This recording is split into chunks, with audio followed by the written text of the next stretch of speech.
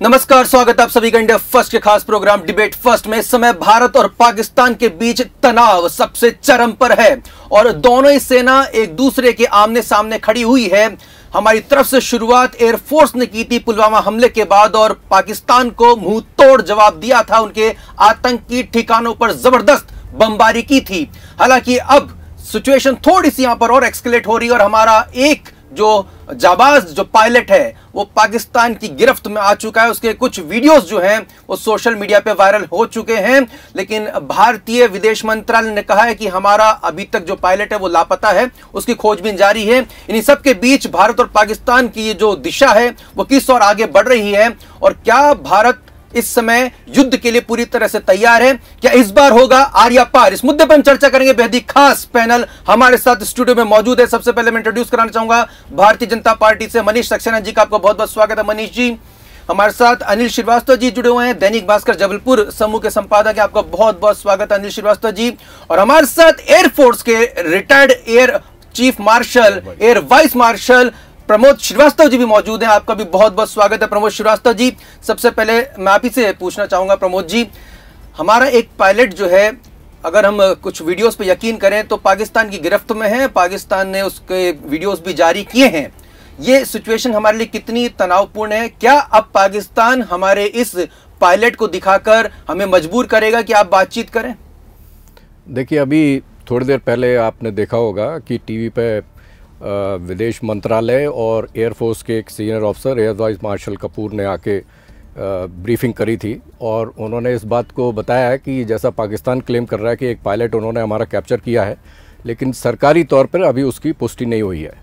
और उन्होंने भी इस बात को केवल ये बताया कि हमारा एक पायलट लापता है। तो जब तक सरकारी सूत्रों के हिसाब से हमको पता नहीं चल पाता, इस बात के लिए कहना बहुत मुश्किल है कि हमारा पायलट उनके पास में कैप्चर हो चुका है। अगर इसको थोड़ा सा अगर according to considering it as a hypothetical situation अगर हम जब तक हम ऑफिशियल जो है उसका वेट करें, कितना ये हमारे लिए दिक्कत का विषय हो सकता है या फिर हम माने कि भाई ये युद्ध है, इसमें इस तरह की बातें होती रहती हैं? नहीं, इसमें दिक्कत कुछ नहीं है। जब भी यदि दो कंट्रीज़ के बीच में लड़ाई होती है, जैसा हमारे और पाकिस्तान के बीच में अभी ऐसा नहीं है, क्योंकि हम तो वॉर में नहीं हैं। और एविएशन है। एविएशन में इस टाइप की वारदातें होती रहती हैं। कभी कुछ टेक्निकल स्नैक आ जाता है जहाज़ में तो जहाज़ क्रैश हो जाता है। पायलट को इजेक्ट करना पड़ता है।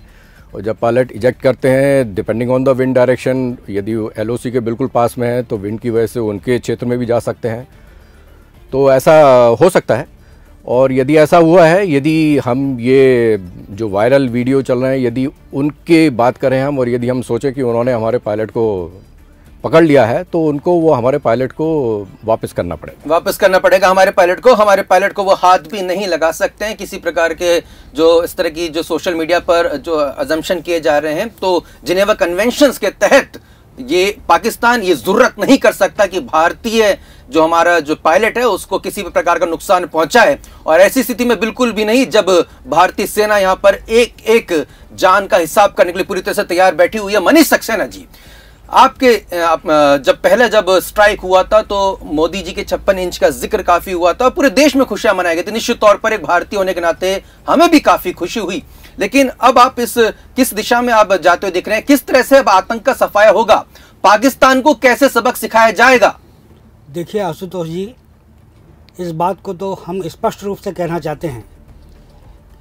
अंतर्राष्ट्रीय आतंकवाद हो या हिंदुस्तान के अंदर आतंकवाद की जड़ें हों उसके खिलाफ भारत का रुख स्पष्ट है।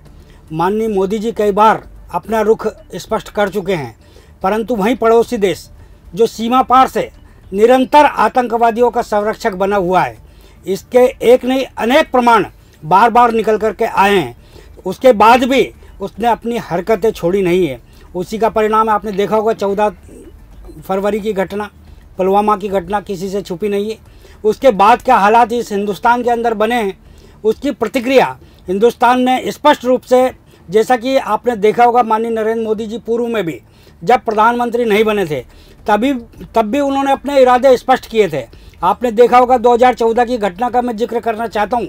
जब मनमोहन सिंह जी प्रधानमंत्री थे और नवाज़ शरीफ पाकिस्तान के प्रधानमंत्री थे, जब बातचीत की बात होती थी तो पाकिस्तान के प्रधानमंत्री नवाज़ शरीफ ने हमारे प्रधानमंत्री माननीय मनमोहन सिंह जी को एक देहाती औरत मतलब अपशब्दों का प्रयोग करके अपमान किया था वही इकहत्तर की बात भी कर लीजिए इकहत्तर की बात भी कर लीजिए मनीष सक्सेना जी जी। क्या मोदी जी में आप भारतीय जनता पार्टी से हमारे सम्मानित प्रधानमंत्री भी हैं सवाल एक भारतीय जनता पार्टी के प्रवक्ता होने के नाते आपसे पूछ रहा हूँ जैसे सन इकहत्तर में इंदिरा गांधी जी ने जिस तरह से पूरे विश्व समुदाय को भारत की ताकत का एहसास कराया था पाकिस्तान के दो टुकड़े कर दिए थे क्या आज भी, आज वो स्थिति आप देख रहे हैं? और क्या भारत इस तरह का यहाँ पर पाकिस्तान को एक बड़ा सबक सिखाने की स्थिति में है? क्या आपकी पार्टी और क्या हमारे प्रधानमंत्री ये कदम उठाने के लिए तैयार हैं?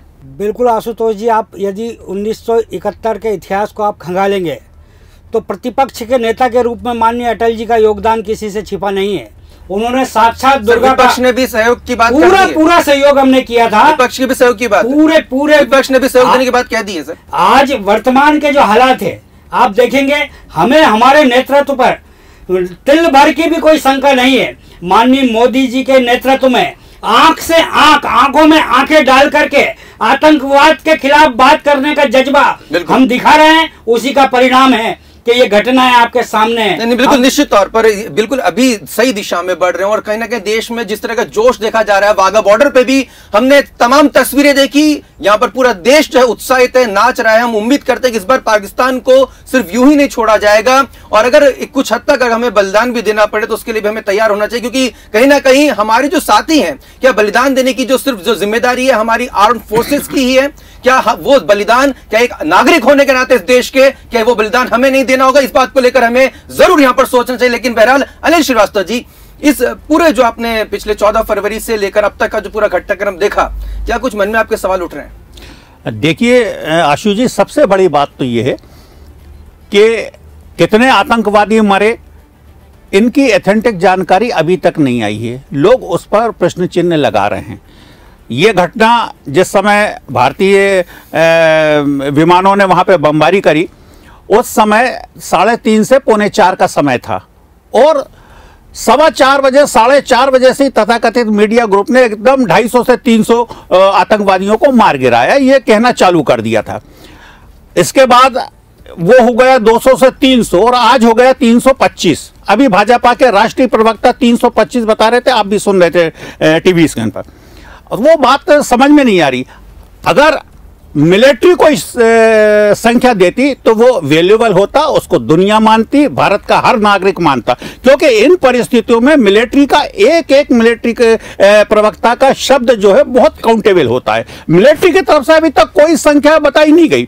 ये 300 और 325 ये कहाँ से संख्या आई? सबसे पहले तो ये जाँच का विषय। जाँच का विषय इसलिए कि मोदी जी के कार्यकाल में अब तक सात हमले हो चुके हैं भारतीय हिंदुस्तान पे, और सातों पाकिस्तान की तरफ़ से किए गएँगे सातवां हमला हुआ है ये पुलवामा वाला। बावजूद इसके, ये हमला अंदर घुस के मारने की स्थिति, चुनाव के दो महीने पहले बन रही है। पहली चीज़ अरे सर, तो ये चुनाव के आप कह रहे हैं कि पुलवामा का जो अटैक हुआ है तो ये कि चुनाव के मद्देनजर के भारतीय जनता पार्टी ने करवाया? सुनिए मैं आपको वही बता रहा हूँ कि हमें हमारी सेना को सलाम करना चाहिए कि उनने अदम्य साहस भर के सीधे जाके उनके आतंकवादी कैंपों पे नप किया। आप देखिए कल इन्होंने ए, मार खुशियाँ मनाई भारतीय जनता पार्टी की बात कर रहा हूँ वो जगह जगह छप्पन इंच का सीना छप्पन इंच का सीना सेना का कोई नाम ही नहीं है। हमें सेना के सामने उनको सल्यूट करना चाहिए जिन्होंने अपने दम खम पे वहाँ जाके मार के आए आतंकवादी केंद्रों को और कैंपों को उन्होंने नष्ट किया। लेकिन अपनी पीठ थपथपाई जा रही है परेशानी सिर्फ़ इतनी है। उन्नीस सौ इकहत्तर में इंदिरा गांधी ने रिस्पॉन्ड कर देखिए, श्रीवास्तव जी, जो एक तरफा बात ये कह रहे हैं, ये न्याय संगत नहीं है। आपने देखा होगा, देश के प्रधानमंत्री ने, भारतीय जनता पार्टी के राष्ट्रीय अध्यक्ष, दोनों ने सेना के सम्मान में, जो कसीदे पड़े, ये किसी से छुपे नहीं हैं। तो ये कहीं ना कहीं विरोधाभासी स्थिति हो सकती है। मैं माननीय श्रीवास्तव जी से अपेक्षा रखता हूँ कि वो कंटेंट को निकाल करके वास्तविकता पे बात करेंगे। तो शायद ये इस इस समय, जो निश्चित रूप से हमारे लिए एक संक्रमण काल है। इस संक्रमण काल में यदि हम विरोधी भाषा का इस्तेमाल करेंगे और संक्रमण में सर चुनौती का वक्त है और इस समय पूरे देश एक को और पूरे देश को एकजुट होना चाहिए। लेकिन लेकिन इस सवाल का इस सवाल का इस सवाल का जवाब मैं विंग मैं यहाँ पर हमारे साथ एयरफोर्स के वरिष्ठ अधिकारी मौजूद हैं। प्रमोद श्रीवास्तव सर कितना फ़र्क पड़ता है एक स्ट्रॉन्ग लीडरशिप का आर्म फोर्सेस पर? अगर एक स्ट्रॉन्ग लीडरशिप आर्म फोर्सेस के ऊपर होती है तो मनोबल पर कितना फ़र्क पड़ता है और किस तरह से परफॉर्मेंस में भी इसका असर पड़ता है देखिए इंडियन एयरफोर्स हो या इंडियन आर्मी हो या इंडियन नेवी हो, वो फाइनली हम लोग गवर्नमेंट के अंडर में ही काम करते हैं और गवर्नमेंट में लीडरशिप की तो सख्त ज़रूरत ही। एक सख्त लीडर का होना बहुत ज़रूरी है, जो सही समय पे सही और जल्दी डिसीज़न ले नौ, जैसा श्रीवास्तव साहब ने अभी कहा, वो 300 और 350 के तो मैं आपको कुछ बेसिक चीज़ें बताना चाहूँगा कि कोई भी ऑपरेशन कैसे शुरू होता है और क्यों शुरू होता है। और सबसे पहला जो मुद्दा होता है कि हमको क्यों ऑपरेशन करना है मतलब हम क्यों करना चाहते हैं, क्या अचीव क्या करेंगे इस ऑपरेशन को करके। तो इसमें तो कोई दोहरा नहीं था कि हमारा जो मुद्दा था इसमें, हमारा जो एम था, हमारा जो मोटो था, वो था कि आतंकवादियों के ऊपर हमें अटैक करना है। तो ये हमारा मुद्दा था। अब आप खुद ही सोचिए कि क्या एक दो आतंकवादियों के लिए हम इतना सारा तामझाम करेंगे? कि हम इतने सारे जहाज़ भेजेंगे? हम नहीं भेजेंगे। तो हमने सोचा कि जब बहुत सारे आतंकवादी वहाँ पे, उस जगह पे इकट्ठे हों, तब हम जाके वहाँ पे अटैक करें, जिसले, जिससे एक मास डिस्ट्रक्शन हो। तो अब वो नंबरों पे मैं नहीं जाऊँगा, लेकिन इंट की रिपोर्ट ये आई थी और बहुत सारे टाइप की रिपोर्ट्स भी आई थी। बहुत सारे सैटेलाइट पिक्चर होंगे, इस ऑपरेशन के लिए ज़रूर ये सब चीज़ें इकट्ठी की गई होंगी।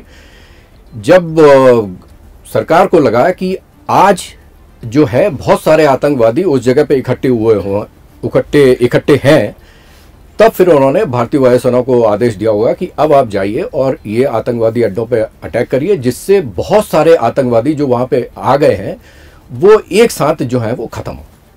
तो अब कितने ख़त्म हुए हैं, ये तो कहना बहुत मुश्किल है, लेकिन बहुत सारे हुए हैं, इसमें कोई शक नहीं है।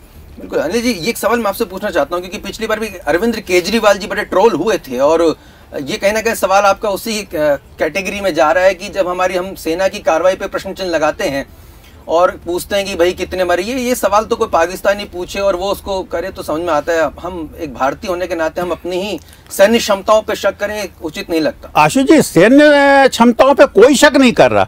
किसी प्रकार की कोई गुंजाइश नहीं है कि उन पर किसी भी प्रकार का शक किया जाए, क्योंकि हमारी वही सेना है जिसने जनरल मानिक शाह के समय में पाकिस्तान की पूरी आर्मी को हाथ खड़े करके और सफ़ेद कपड़ा लहरा के आत्मसमर्पण के लिए मजबूर कर दिया था। ये वही सेना है जिसने पाकिस्तान के दो टुकड़े कर दिए थे। सवाल वो नहीं है। सवाल ये है कि अपने हाथ से अपनी पीठ थपथपाई जा रही है और संख्या को लेकर जो विरोधाभास चल रहे हैं उस पर सवाल उठ रहा है। श्रीवास्तव जी श्रीवास्तव जी आप संख्या को आप बार बार संख्या को इंगित कर रहे हैं। आपको ये पता होना चाहिए कि वो उग्रवादियों का आतंकवादियों का ट्रेनिंग कैंप है। कैंप कौन सा होता है? कैंप की परिभाषा आपको भली भांति याद होगी क्योंकि आप वरिष्ठ पत्रकार हैं। लंबे समय तक और लंबे समय से आप पत्रकारिता कर रहे हैं, वो वहाँ पे उस उस कैंप के बारे में सर्वविदित है कि वहाँ 700 से अधिक आतंकवादियों को प्रशिक्षित किया जाता है, जिसमें 50 से अधिक प्रशिक्षक जो ट्रेनर ऑफ़ ट्रेनी जो रहते हैं वहाँ मौजूद रहते हैं। उसमें एक, एक रिपोर्ट ये भी आई कि ये- ये जानना- ये पुलवामा हमले करने के बाद जो आतंकवादी थे वो बालकोट में जाके उन्होंने वहाँ पर पार्टी भी की थी एक रात पहले और उस पार्टी के विजुअल्स भी आ चुके हैं और बहुत मुमकिन है कि जिस जैसे कि हमारे ऑफिसर भी बता रहे हैं एयरफोर्स के कि कहीं ना कहीं इसके सैटेलाइट पिक्चर्स भी ज़रूरी होंगे। लेकिन एक पॉलिटिकल सवाल मैं यहाँ पे आपसे पूछता हूँ मनीष जी। चलिए ठीक है। सैन्य क्षमताओं की यहाँ पे तारीफ़ करनी चाहिए अनिल जी लगातार कह रहे हैं और इसको अपनी पीठ नहीं थपथपानी चाहिए। लेकिन आर्टिकल 35 ए और धारा 370 ये दो ऐसे विषय हैं जहाँ पर भारतीय सेना या किसी भी सैन्य सैन्य सेना के किसी भी विंग का कोई रोल नहीं है। यहाँ पर तो आपको अपनी राजनीतिक इच्छा शक्ति दिखानी होगी, जो कि आपने लगातार, आपकी पार्टी ने लगातार कहा है कि हम इसको कहीं ना कहीं डिजोल्व करेंगे, खत्म करेंगे। ये कब करेंगे? देखिए आशु जी, निश्चित रूप से हमारे इरादे स्पष्ट है। चाहे धारा 370 हो, चाहे 35 ए हो, परंतु समय और परिस्थिति अलग होती है। वो भारतीय जनता पार्टी जब स्पष्ट आप विपक्ष में रहते हैं तब समय और परिस्थिति समय और परिस्थिति आप हैं खत्म कीजिए।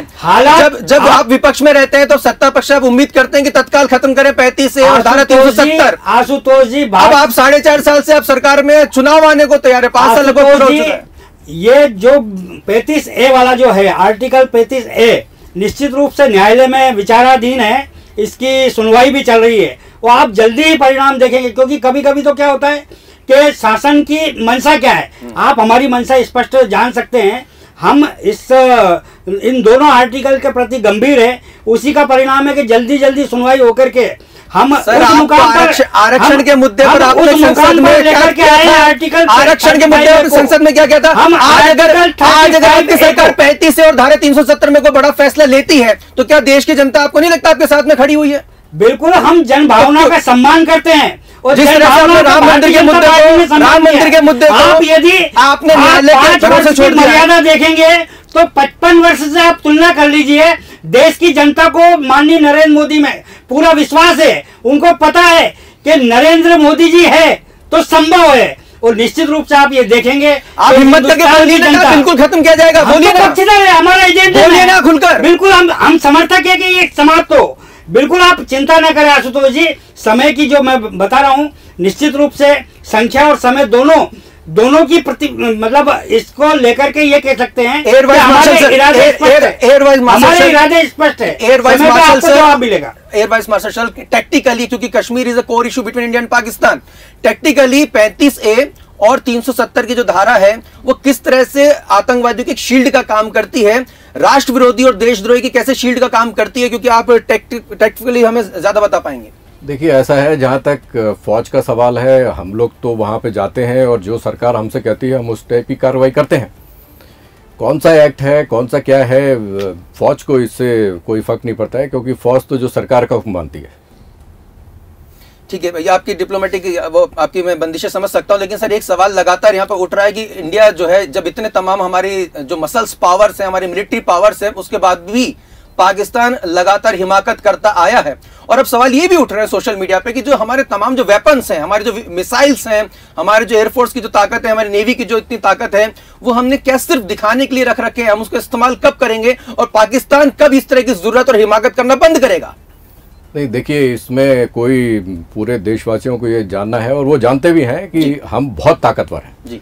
चाहे आप आर्मी की बात करें चाहे इंडियन एयरफोर्स की बात करें चाहे इंडियन नेवी की बात की बात करें हम सक्षम हैं हौसला है हम में और हम ट्रू भारतीय हैं। जी। और यही सब वजह से जो है हमें कभी ऐसी हमारे माथे पे शिकन भी नहीं आती कि पाकिस्तान ऐसा कर रहा है तो हम नहीं कर सकते।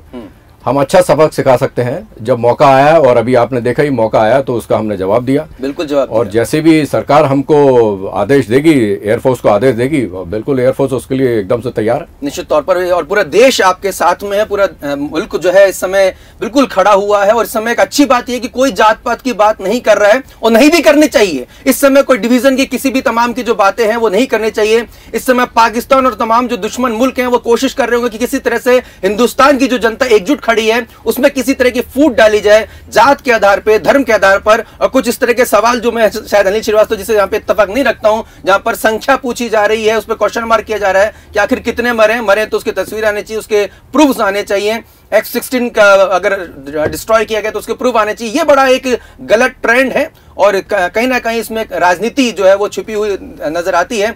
मैं उम्मीद करता हूँ कि इस मुद्दे पर कम से कम राजनीति नहीं हो लेकिन एक फाइनल राउंड में यहाँ पर ज़रूर लूँगा और एक एक सवाल आप तीनों ही गेस्ट से यहाँ पर ज़रूर लूँगा। एयर वाइस मार्शल साहब प्रमुख जी आपसे मैं सवाल पूछना चाहूँगा। अगला स्टेप इंडिया का क्या होगा मौजूदा परिस्थितियों में? देखिए इस समय यहाँ बैठ के प्रिडिक्ट करना अच्छा भी नहीं होगा ना ही इस बात को ज़ाहिर करना अच्छा होगा कि भारत अब अगला कदम क्या उठाएगी। सरकार है, बहुत सारे लोग वहाँ पे हैं, बहुत सारे इंट अवेलेबल हैं उनके पास, बहुत पढ़े लिखे लोग हैं एक्सपीरियंस लोग हैं। उन सबसे मशवरा करके सरकार जो भी कदम सोच रही है, जो कदम उठाएगी, वो बिल्कुल सही होगा। बिल्कुल। मनीष जी, ये एक ना चाहते हुए भी क्योंकि लगातार जो है ये पॉलिटिकल इशू तो बन ही गया है, हालाँकि हमेशा से स्टैंड रहता है विपक्ष का भी कि हम साथ में खड़े हैं। उसके बावजूद भी कहीं ना कहीं जो सच्चाई ये भी है कि कहीं ना कहीं बीजेपी से अपनी लीडरशिप की जीत बता रही है, लगातार इस तरह के स्टेटमेंट तो ज़रूर आ रहे हैं, ये बात सच्चाई भी है। लेकिन आपसे सवाल ये पूछना चाह रहे हैं, जो कोर इशू है, आगे देश को कैसे एकजुट करके आगे चलना है और आपकी पार्टी की क्या रणनीति रहेगी इस पर? देखिए आशु जी, एक बात स्पष्ट है। माननीय माननीय नरेंद्र मोदी जी के नेतृत्व में रत्ती भर भी किसी भी भारतीय को शंका नहीं है। भारतीय जनता पार्टी ने आज हिंदुस्तान को ऐसा नेतृत्व दिया है जिन्होंने अपने इरादे स्पष्ट किए हैं और इरादे स्पष्ट नहीं किए कार्य योजना भी स्पष्ट की है। उसी का परिणाम है कि आज विश्व में हमारा स्वाभिमान बढ़ा है हमारा सामर्थ्य दिखा है और ईट का जवाब पत्थर से कैसे दिया जाता है एक सर के बदले चालीस सर कैसे लिए जाते हैं? इसके प्रमाण हम जनता को दे रहे हैं और जनता के सामने प्रदर्शित है। अक्सर हम देखते हैं कि भारत बहुत तेज़ी से आगे बढ़ता ज़रूर है काफ़ी बयानबाजी होती है। अब की बार आर्य पार इस तरह के जो है तमाम नारे बोले जाते हैं। अटल जी के टाइम पे भी बोले गए थे कारगिल युद्ध जो है वो पूरा हमने अपनी सॉइल पे लड़ा है सर ये भी सच्चाई है। यहाँ पर हम उनके पीओके में कुछ भी हम ज़मीन जो है ऑक्यूपाइड नहीं कर पाए थे। हम दिखा सके देखिए हमें नक्शे में हमारा इजाफा हुआ। इस बार ऐसा नहीं होगा कि आप कैसे बता सकते हैं देश को भरोसा दिला सकते हैं? आपकी पार्टी की सरकार है। बिल्कुल भरोसा दिला रहे हैं। और कार्यवाही से भरोसे में जनता है। आज माननीय अरुण जेटली जी ने स्पष्ट किया है कि जब आतंक की जड़ें जहाँ भी होगी तो उस पर कार्रवाई करने का हमें हक है। उन्होंने उदाहरण दिया ओसामा बिन लादेन का कि ओसामा बिन लादेन पे यदि आतंकवादी है, उसके लिए वो कार्रवाई हो सकती है। तो हम आतंकवाद की जड़ों को नष्ट करने के लिए कार्रवाई करने के लिए क्यों सक्षम नहीं है? हम सक्षम है, ईट का जवाब पत्थर देंगे। आतंकवाद की जड़ जहाँ भी होगी, आतंकी जहाँ भी छुपे होंगे, हम ढूंढ निकालेंगे। पाताल में भी होंगे तो खोज के हम उनको दफन करेंगे। ठीक है एयर वाइस मार्शल साहब, प्रमोद श्रीवास्तव जी पीओके हमारे लिए कितना इंपॉर्टेंट और क्या ये एक ऐसा मौका है जहाँ पर हम पाकिस्तान को मैक्सिमम डैमेज पहुँचा सकते हैं। और क्या हम पीओके के जो हमारा जो खुद का जो हिस्सा भारत क्लेम करता है, क्या हम उसको वापस हासिल कर सकते हैं? और अगर ये स्थिति, क्या आप देख पा रहे इस बार? देखिए, हमने जैसे मैंने अभी कहा कि कुछ जो भी इस टाइप के ऑपरेशन होते हैं, उसमें एक उद्देश्य होता है। तो हमारा उद्देश्य है आतंकवादियों को ख़त्म करने का। अभी उसमें पीओको की कोई बात नहीं है। अभी है आतंकवादी से हमारी लड़ाई है। तो जब हमको पता चला कि आतंकवादी वहाँ इकट्ठे हुए हमने जाके वहाँ ऑपरेशन किया। अब आगे भी यदि हमको कुछ इस टाइप की इन्फॉर्मेशन मिलेगी और सरकार यदि इस बारे में कदम उठाती है तो वो जाके आतंकवादियों को खात्मा किया जाएगा। पीओके का जहाँ तक सवाल है उसमें हम अभी नहीं जाना चाहते क्योंकि वो एक मुद्दा जो है वो सरकारी तौर पे हो सकता है। हमारा जो जो एयरफोर्स को आदेश दिए गए थे वो आतंकवादियों को नष्ट करने का था। और वो हमने सरकार के आदेश का पालन किया और आतंकवादी का आपने सुना ही है कि किस तरह से हर्ष हुआ उनका। बिल्कुल। अनिल सर आप वरिष्ठ पत्रकार हैं और लंबा अरसा हो चुका है आपको राजनीतिक अ, रिपोर्टिंग करते हुए। इस स्थिति के बाद जब भी, भी जो है ये टेंशन जो है डाउन होगी उम्मीद करते हैं कि भारत जो इस बार कड़ा सबक सिखाएगा। लेकिन ये भी आपको नहीं लगता कि दुर्भाग्यपूर्ण है कि महबूबा मुफ्ती जैसी जो लीडर्स हैं जो हमारे ही एक सूबे की जो है मुख्यमंत्री रह चुके हैं उसके बावजूद भी वो भारत के खिलाफ ही जहर उगलती रहती हैं। और कहती हैं कि अगर कुछ भी होता है तो हम दूसरे का झंडा उठाने के लिए जो है खड़े हो जाएँगे। और दुर्भाग्य ये भी है कि उनके साथ में कई ऐसी जो ताकतें हैं, कई ऐसी पॉलिटिकल आउटफिट्स हैं, वो भी खड़े हो जाते हैं। क्या आपको लगता है कि इस पूरे घटनाक्रम के बाद जब पूरा देश एकजुट हुआ है, इन नेताओं की मानसिकता में थोड़ा परिवर्तन आएगा? और अगर इनकी मानसिकता में परिवर्तन नहीं आएगा तो कम से कम देश की जनता इनको सबक सिखाएगी। नहीं, ये तो निश्चित है। कि सबसे कुल मिला के घुमा फिरा के मामला 370 पे जाता है। आज ये जितनी बयानबाजी हो रही है ये अब वार्निंग की दी जा रही है कि हम दूसरे उसका झंडा उठा लेंगे ये सब धारा 370 का। अगर हम धारा 370 को ही समाप्त कर दें अपने तरफ़ से कानून बना दें उससे तो आसानी से किया जा सकता है। हालाँकि आज की स्थिति में नहीं किया जा सकता। आशु जी मैं आपको बताऊँ सकता? इसलिए नहीं किया जा सकता कि पहले कश्मीर विधानसभा से मामला पारित होगा फिर लोकसभा राज्यसभा से होगा। जब तक पीडीपी के साथ इनका तालमेल था तब हो सकता नेशनल था। सिक्योरिटी के जो पॉइंट खड़े हो जाते हैं उस वक्त कोई भी देश कोई भी सॉवरन कंट्री जो है किसी भी तरह का फैसला ले सकता है। और क्यों नहीं भारत जो है लगातार इसी इसी तरह से इसी पंगु बना रहेगा? कुछ ऐसे लोगों के जिसके हत्ते में वहाँ पर जो है कश्मीर जो है जा चुका है और वो लोग लगातार देशद्रोही गतिविधि में संलिप्त रहते हैं। उम्मीद करते हैं कि भारत सरकार इस और कड़ा कदम उठाएगी और कहा कह, कहते हैं कि इंडिया फ़र्स्ट नेशन फ़र्स्ट और उसी राह पर वो आगे बढ़ेगा। और सबसे पहले हमारे देश के जो देशद्रोही हैं उनको कड़ा सबक यहाँ पे सिखाएगा कि आपने अगर किसी तरह का साथ दिया अब इस तरह के आतंकवादियों पे और हमारे जो सैनिक और हमारे जो नागरिक हैं उनकी जान के साथ खिलवाड़ किया तो सबसे पहले आपको आपको इसकी सजा मिलेगी। और निश्चित तौर पर एक ऐसा मौका है पूरे देश को यहाँ पर इकट्ठा होना चाहिए एक होना चाहिए और पाकिस्तान को कम से कम इस बार ऐसा माकूल जवाब देना चाहिए कि अगली बार इस तरह की हिमाकत करने इसके बारे में वो सोचे ही नहीं। फ़िलहाल मुझे यानी आशुतोष को दीजिए इजाज़त। इस मुद्दे पर लगातार हम आपके पास आते रहेंगे, अपडेट करते रहेंगे। आप जुड़े रहिए इंडिया फ़र्स्ट न्यूज़ के साथ। नमस्कार।